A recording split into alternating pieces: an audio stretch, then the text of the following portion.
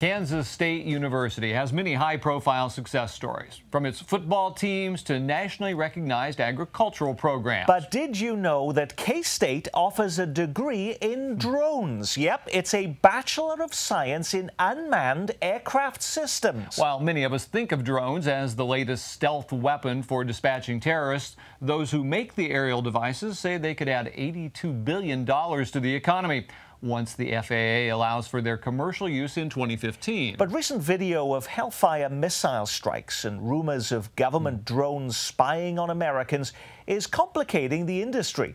We dispatched KCPT special correspondent Sam Zeff to K-State to investigate. Okay, let's just get this part of the story out of the way right now. Admit it, this is how you think of drones, or as people in the drone business like to call them, unmanned aerial vehicles.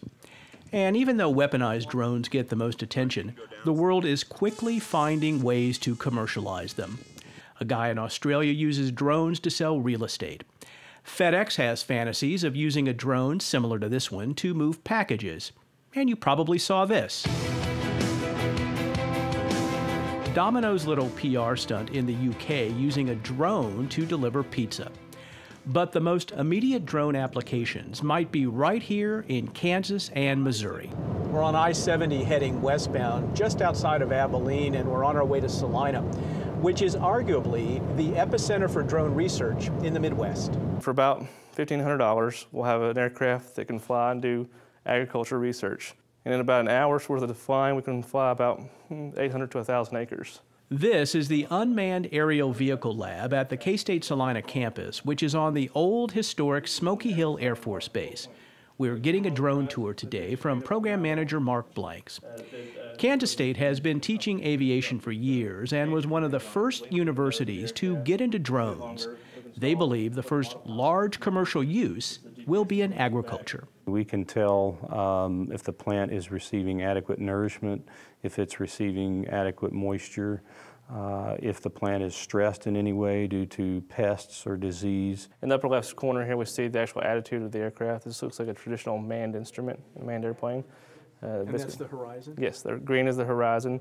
This also tells us the airspeed, uh, the altitude, Uh, the direction it's flying. And here's the thing that is both really cool and just a little bit scary. All of these drones can be flown with a laptop and, in some cases, a tablet. The pilot will plot a course on the map and then, well, look at this. The drone can be launched off the top of a car, or there's a catapult that can instantly get it going 40 miles an hour. This may look like nothing more than model airplanes, but it's the cutting edge in drone technology at an airfield with a long history of pushing the envelope.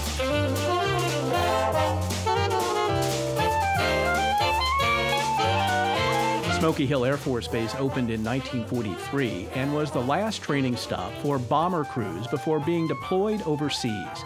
Every new American bomber was tested in Salina. The B 29 Superfortress flew out of here, America's first swept wing jet bomber, the B 47, was based at Smoky Hill.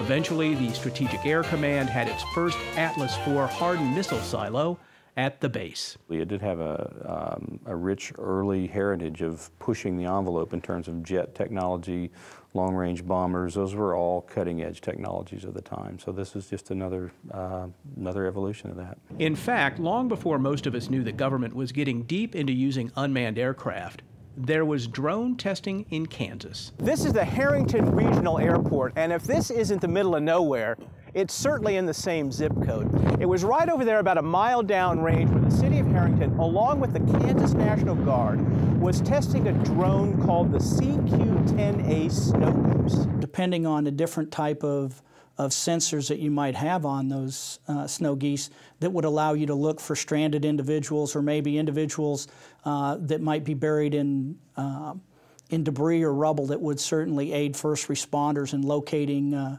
uh, severely injured uh, individuals. The Snow Goose was essentially a flying boxcar. In combat, it was used to deliver everything from water to ammo. The Kansas Guard retired the Snow Goose last year, Taffanelli says, because technology had passed it by. The Guard and K State researchers saw it as a way to aid in disaster relief and as an economic engine for tiny Herington, Kansas. Neither came to pass. The Guard has no drones and no immediate plans to acquire any. Without Guard participation, the public private venture at the Herington Airport fell apart. What hasn't fallen apart is how drones have become a political hellfire missile in state legislatures all over the country, including Topeka and Jefferson City. We uh, don't want to be in the business where we have, uh, where we give the government the ability to literally spy um, on farms, businesses, individuals, property owners, homes, whatever, and based on that surveillance, be able to take action against them. Republican State Representative Casey Guernsey is a farmer from Bethany, Missouri. This session, he introduced this bill in the state house that would severely restrict how government agencies could use drones in Missouri. Under the legislation, which passed the House but did not pass the Senate, police and regulators would have to obtain a search warrant to use a drone for surveillance. Under Guernsey's bill, no warrant would be needed as long as the aircraft is manned. Help me understand the difference between uh, an EPA employee in a fixed wing aircraft with a pilot doing legitimate uh, enforcement work uh, or a drone flying over that same piece of property. Help me understand why uh, the latter is uh, so much more sinister in your view. Well, I have, would have a problem with the former as well. But the concern with drones are the fact that they have become so much cheaper, they're more readily available. Um, it, the technology has gotten so advanced, it's borderline um, unbelievable to me uh, how small these drones can be and how effective they can be in seeing through walls. And when it becomes more uh, prevalent, when it's unregulated and um, cheaper, it's the perfect storm, as far as I'm concerned, on the part of an individual's um, uh, civil liberties and, the, and, their, and their privacy. Should we be as worried as some of our elected officials uh, believe we should be? No, we really shouldn't. Um, number one, privacy uh, is compromised in a lot of different ways, but this technology is not going to compromise privacy uh, if employed correctly. I mean, you would be the poorest person in the world if you deployed a fleet of these vehicles to go peer in people's windows. Sam Zeff with that report. Representative Guernsey, by the way, says he'll continue pushing his drone bill next year in Jefferson City. A similar bill in Kansas also failed to pass but its sponsor also says it'll be back next session.